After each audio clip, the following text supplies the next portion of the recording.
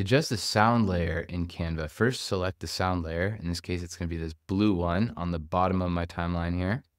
And then I'm going to come up to audio effects and I can do a fade in by sliding this to the right. And this is going to fade in. You can see it's adding a little triangle, a lighter blue triangle down here on my layer.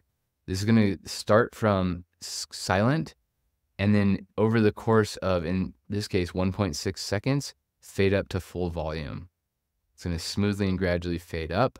So I can set that to however long I want. And then same thing with the fade out. I can slide this to the right to increase how long that fade out is going to happen.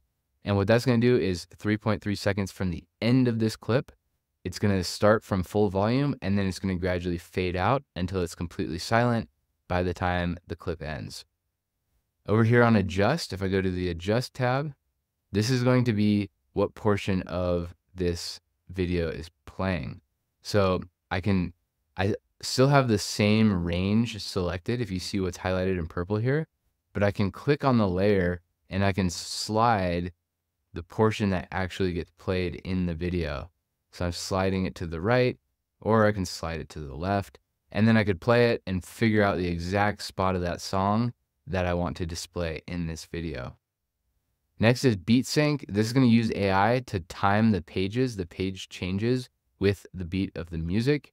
This one won't be a good good example to demonstrate that with, but super cool feature and definitely try it out. And then the last one is going to be your volume, and it's just the speaker icon. And you can mute the whole thing by clicking on that speaker again, this one in the top right. Mute it to zero so there won't be anything heard at all. And if you have it, it's going to default to 100%. It's going to be just regular volume. But if it's too loud, it's drowning you out, you can click on that, slide it to the left, turn it down, or do the opposite, turn it up all the way up to 400%.